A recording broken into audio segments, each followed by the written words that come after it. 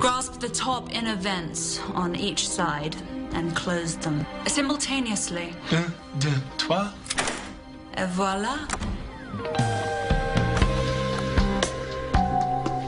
That will show you the hiding place Mr. MacPherson had so much trouble locating.